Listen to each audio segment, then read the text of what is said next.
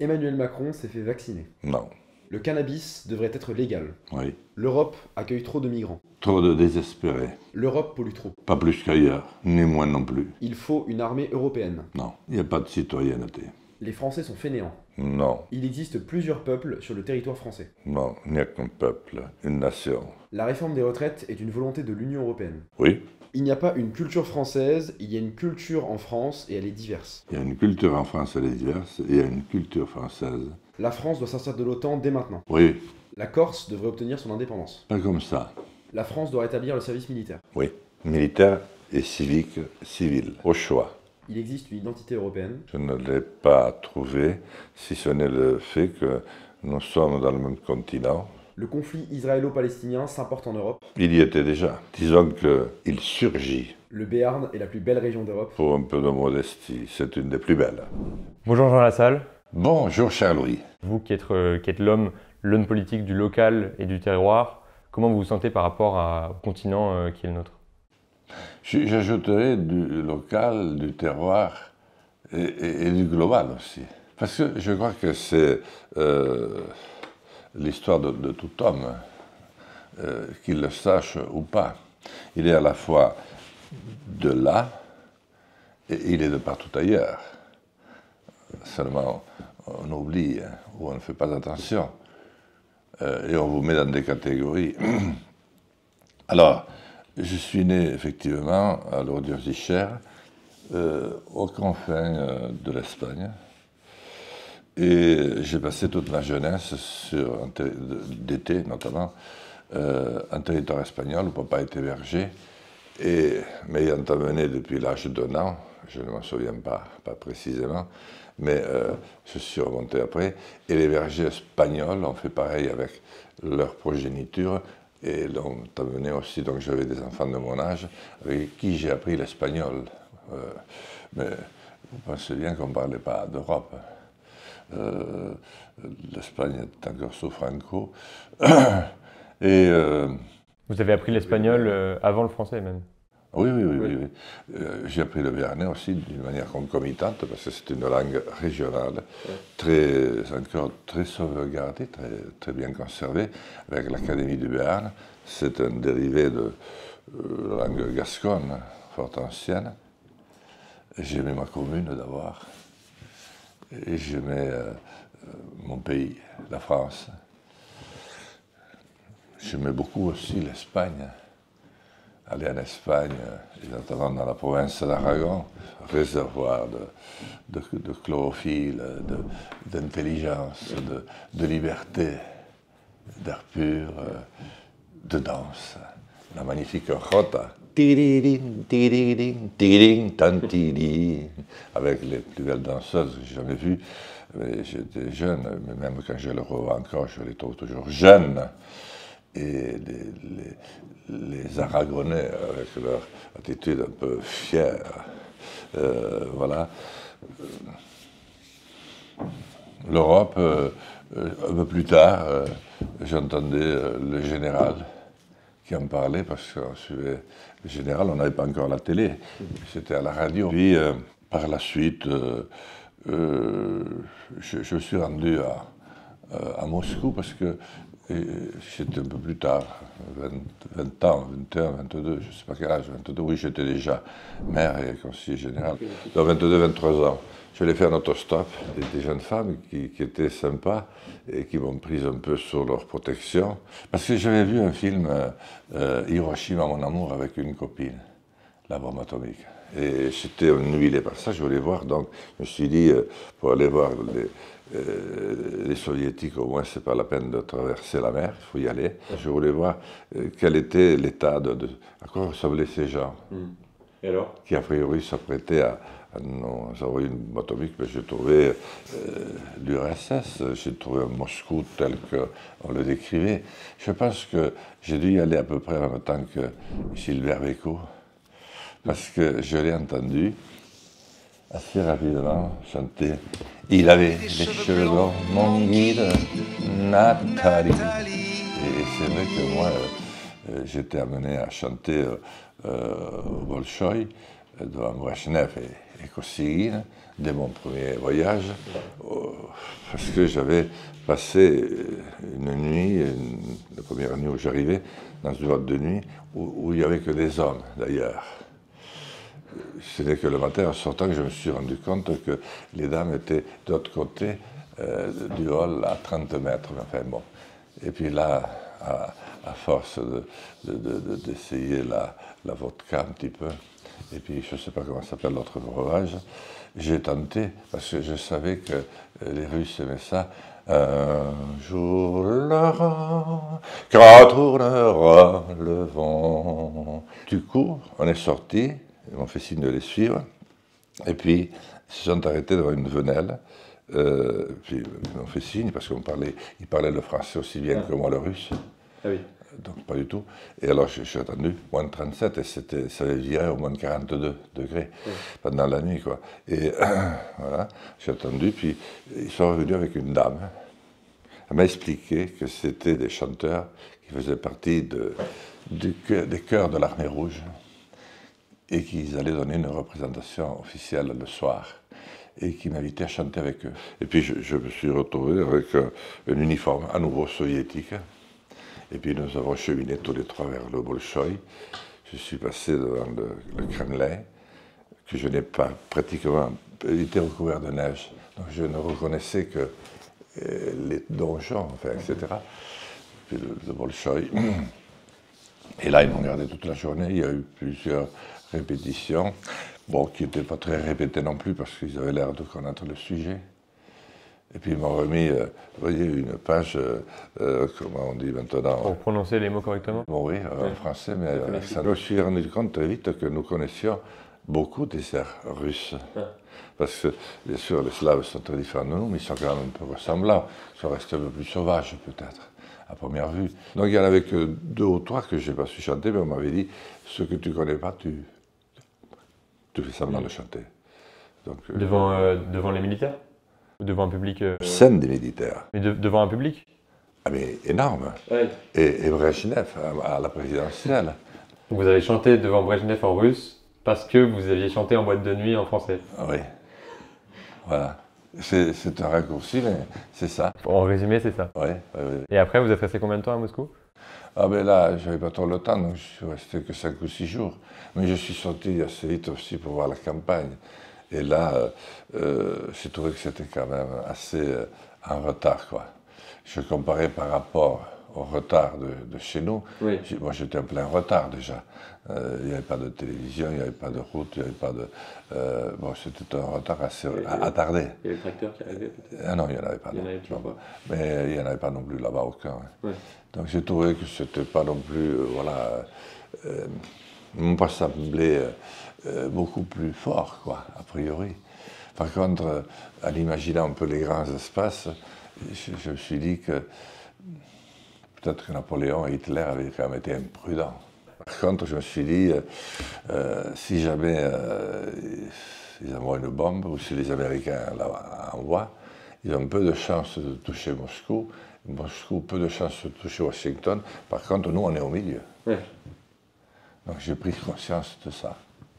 Ensuite, j'ai découvert la Yougoslavie euh, du maréchal Tito, que j'ai eu la chance de rencontrer parce que euh, euh, j'avais fait la connaissance de sa petite fille qui m'a amené voir son grand-père, mais qui était inquiet pour la suite de la Yougoslavie, qu'il trouvait pourtant très bien. Il avait raison, parce que ce pays, s'il avait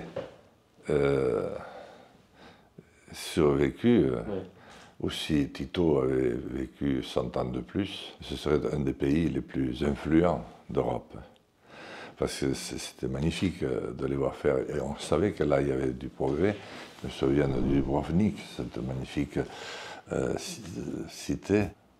Et puis après, euh, où est-ce que j'ai été J'étais dans le Tyrol, en Autriche, bien sûr, euh, les, pays du pacte de Varsovie, j'ai des souvenirs très précis de la Tchécoslovaquie euh, euh, réunie. Après, j'ai fait un tour d'Europe, bien plus tard, j'ai visité 15 pays de l'Union européenne. là, j'ai commencé par Londres. Et j'ai d'ailleurs le compte rendu, il faut que je le montre, euh, le compte rendu que j'ai écrit avec un stagiaire. Et puis euh, de Londres, je suis passé à, à Dublin, et incroyable.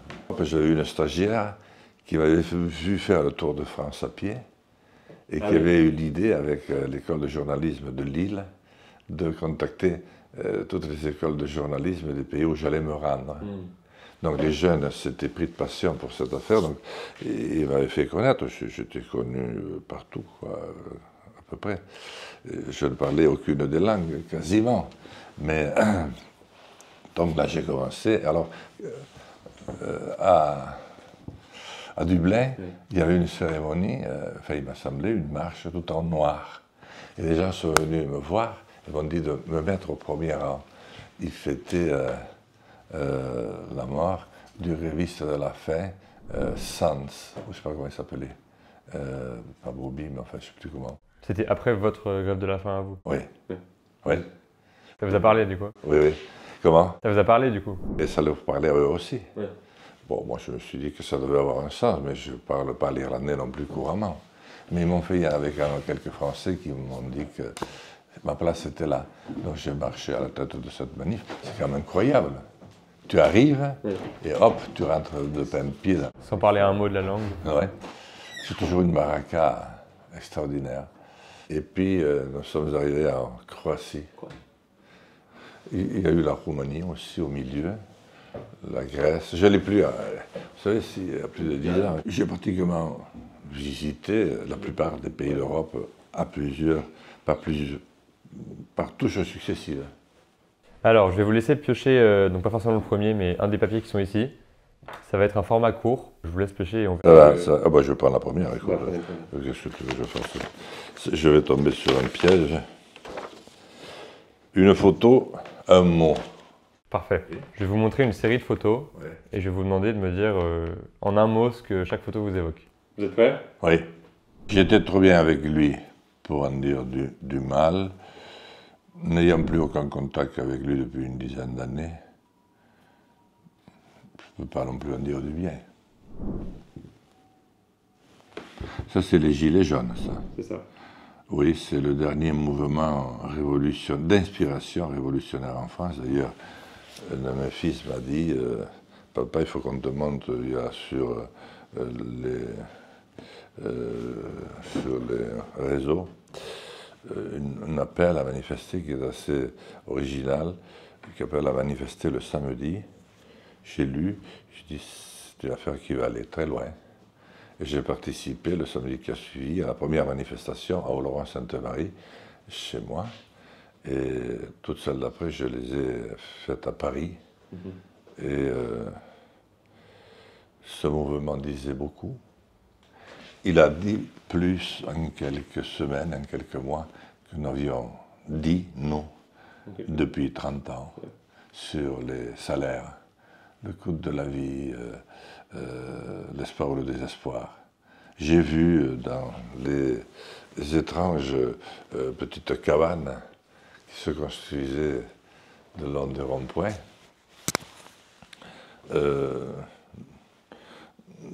des jeunes hommes de 20 ans euh, se prendre d'admiration pour un monsieur de 70 ans, en pensant que c'était leur grand-père. Et puis le grand-père travaillant avec le jeune homme, en pensant que c'était son petit-fils, et ils étaient contents. Euh, il y avait une bonne ambiance. Mhm. Après, les dames, c'était pour la plupart des dames qui élevaient seules leurs deux ou trois enfants la quarantaine. Et après, vers minuit, elle disait, bon, allez, maintenant, fini la buvette et la fumette, au lit, demain il fera jour.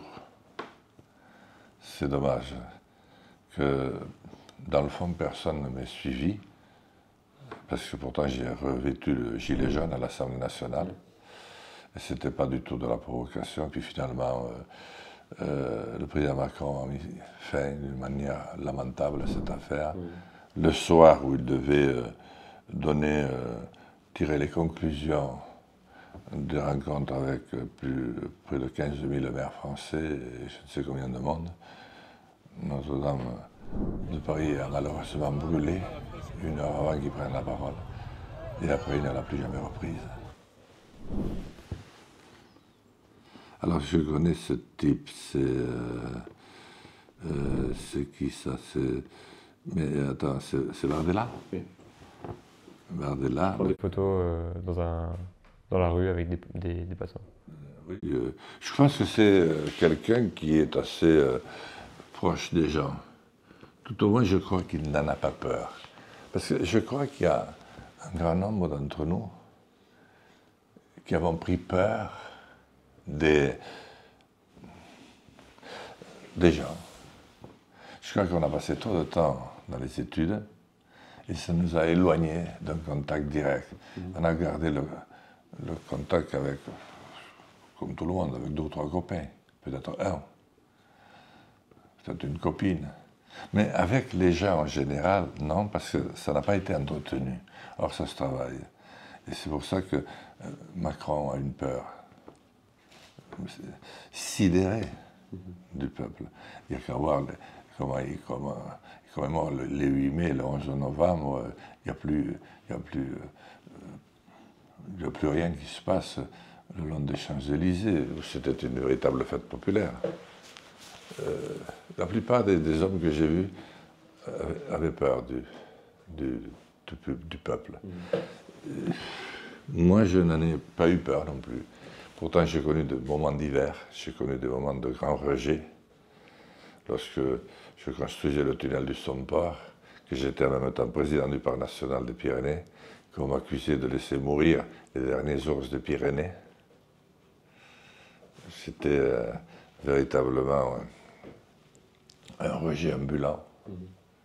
Et puis maintenant, euh, les jeunes euh, m'apprécient beaucoup. Maintenant, je vais vous laisser piocher un drapeau dans cette pile-là. Oh là là là Ce sera écrit, ne vous inquiétez pas. Et euh, ce drapeau mènera à une question en rapport avec le pays. Le Royaume-Uni. Le Royaume-Uni. Alors, au Royaume-Uni, le système politique est clair. C'est un système bipartite avec deux partis euh, euh, clairement définis. Et il existe aussi des petits partis régionaux, mais qui ont très peu d'importance. Alors qu'en France, vous dénoncez souvent euh, que le système autrefois bipartite est devenu euh, flou, euh, c'est obscurci et qu'on ne comprend plus très bien, qu'il y a trois, trois, grands blocs mais qu'on ne comprend pas bien qu'est-ce qu'est la gauche, qu'est-ce qu'est la droite très clairement. Est-ce que, est que vous trouvez que le système bipartite permet de, de, mieux, de mieux résoudre et de mieux clarifier la situation politique? Non. Euh, le système multipartite euh, euh, doit aussi revoir ses règles, les adapter avec son temps. Aujourd'hui, tous les partis se sont effondrés, les partis traditionnels. Il faut en recréer d'autres, c'est pour ça que j'ai créé Résistant. Et vous ne voyez pas d'issue, vous ne voyez pas des partis qui pourraient prendre la relève des anciens grands partis? Le Rassemblement national et la NUPES, pour vous, c'est pas la NUPES, il faut avoir vraiment beaucoup d'espoir. Mais au fond, pourquoi pas? Euh, Tant qu'il y a Mélenchon, il y a de la vie, de l'espoir. Euh, le Rassemblement national, 370 euh, députés à la prochaine votation législative ou présidentielle. Mais la France ne veut être ni extrême droitisée, ni extrême gauchisée, ni extrême macronisée. Elle veut avoir euh, des mouvements politiques qui représentent ses sensibilités très singulières, aussi singulières que l'est la France. Et les mouvements politiques aujourd'hui, vous pensez qu'ils ne représentent pas les singularités des Français? Ils ne représentent rien. Parce qu'ils ont tous été absorbés par l'odieux système euh, bureaucratique. C'est quoi le système? Le libéralisme? Le, système, non, non, c'est plus compliqué. Bon, il est aussi, euh, euh, enfin, à mon avis, même plus dangereux, même s'il n'envoie pas dans des, dans des goulags que le fut le système soviétique. Aujourd'hui, c'est une dictature molle au service de, d'une financiarisation généralisée de toutes choses, où plus rien n'a de valeur, rien, au service d'une mondialisation heureuse, qui n'a peut-être jamais été aussi malheureuse, qui peut le devenir beaucoup plus encore, parce que la dictature molle peut devenir une dictature dure. Est-ce que cette dictature molle donc, que vous appliquez à la France, vous pourriez aussi euh, employer ce terme pour l'Union européenne? C'est la même. Euh, à partir du moment où, on a besoin, pour régler les affaires, d'une bureaucratie euh, aussi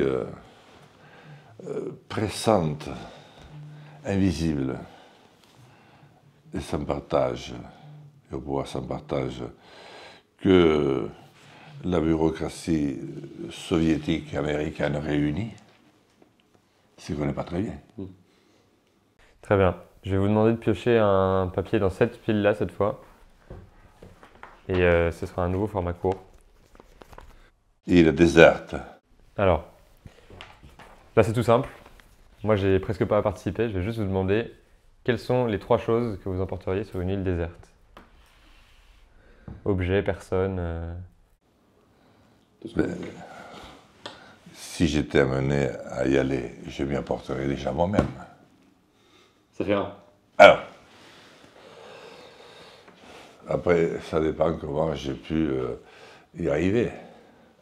Admettons que j'y sois arrivé d'une manière totalement euh, sans, le, sans le savoir, ni le vouloir. J'essaierai d'y apporter mon optimisme. Et troisièmement, ma baraka. Donc pas grand-chose qui vous aiderait à survivre euh, Ah, vous n'en savez rien. Ah, l'optimisme. L'optimisme, la baraka peut conduire très loin. Hein. L'optimisme, c'est l'espérance. C'est l'espérance folle. Euh, je vais vous demander de piocher un nouveau drapeau. Le Danemark, c'est un pays qui m'a beaucoup euh, qui m'a presque fasciné. Je l'ai visité pendant le tour d'Europe. Puis, euh, il n'y a que des vélos, très peu d'incivilité. Et on s'entend bien. Alors, très peu d'incivilité.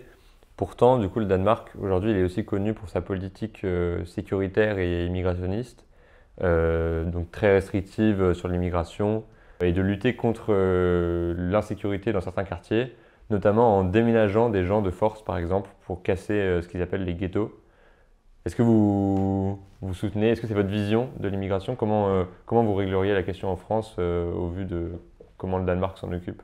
Le problème de l'immigration tel qu'on l'aborde aujourd'hui avec ces télévisions et ces radios fantômes qui, qui participent au, théâtre d'ombre. Mm-hmm. Le même théâtre d'ombre que, qui est devenu l'Assemblée nationale ou, le Sénat. Rien.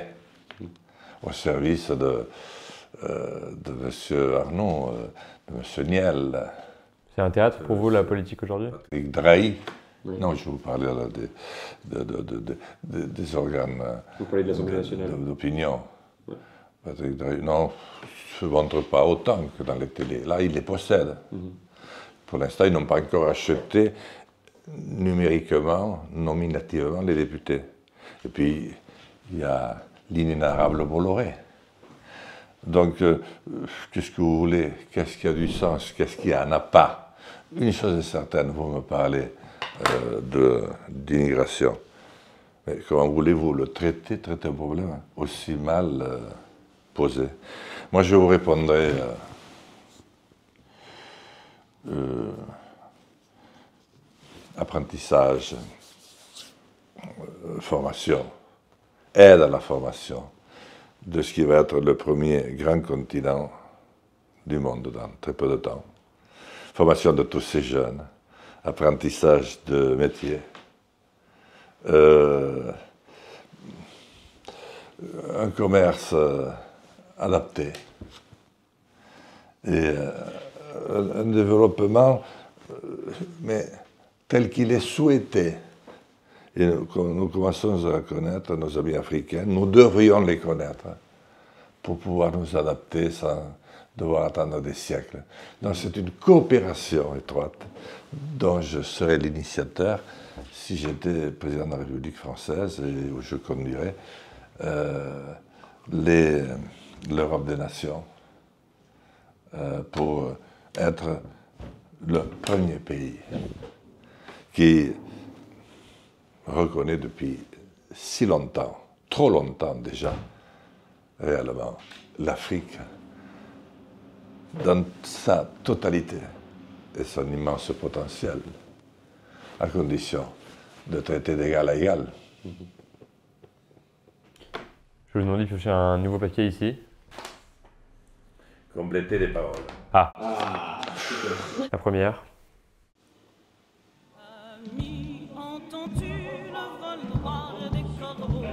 Le chant des partisans.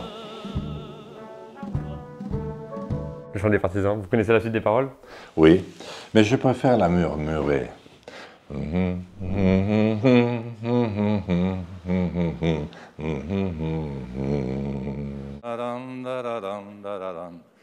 Tandis qu'à Paris on disait Et Paris.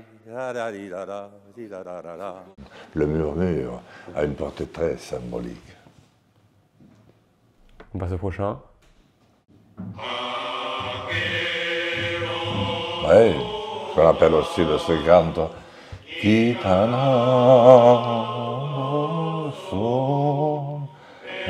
son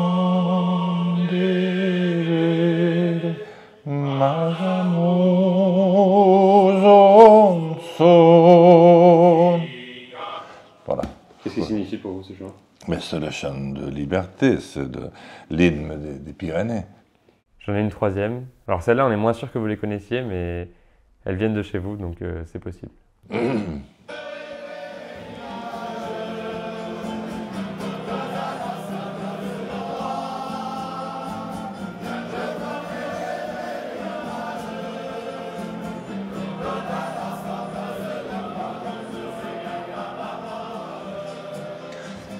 C'est une très vieille chanson chantée en Béarn qui a dû être ramenée des guerres peut-être napoléoniennes. Et euh, c'est une chanson que le groupe Nadao a remis au goût du jour et que mes fils, notamment, chantent quand ils ont perdu ou gagné avec l'Union sportive aspoise. Formidable mélodie, formidable parole d'une jeune fille qui laisse partir son chéri euh, au front et qui craint les belles italiennes à distance. Le dernier.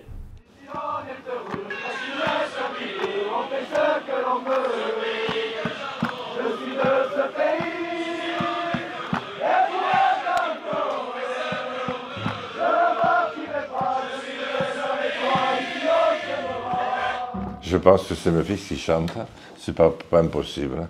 C'est pareil, euh, c'est une. Mais là, je pense que c'est une, consi- c'est une création de, de Nadao, Oui. et euh, qui est devenue euh, très populaire. Une chanson est populaire le jour où le peuple entier la reprend.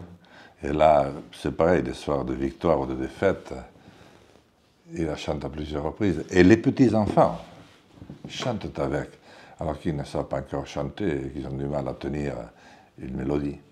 Je vais vous laisser piocher un nouveau drapeau. Réaction à une vidéo. Ah, Réaction à une vidéo. Allez, la vidéo. voilà euh, l'extrait que je voulais vous montrer.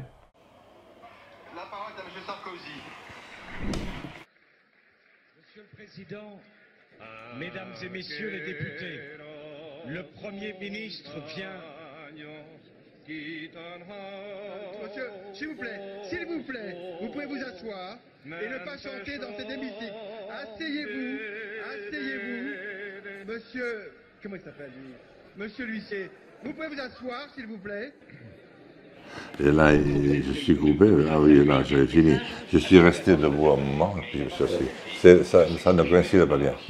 La Pourquoi réaction. Hein, Pourquoi est-ce que vous avez chanté dans l'hémicycle au moment où Sarkozy a pris la parole? Pour vérifier l'acoustique sans micro. Elle est excellente. Ensuite, euh, c'est le jour où Sarkozy euh, est investi quasiment des pleins pouvoirs par Chirac, qui pourtant ne pouvait pas le voir. Parce que euh, Luc Ferry a des enseignants partout dans la rue.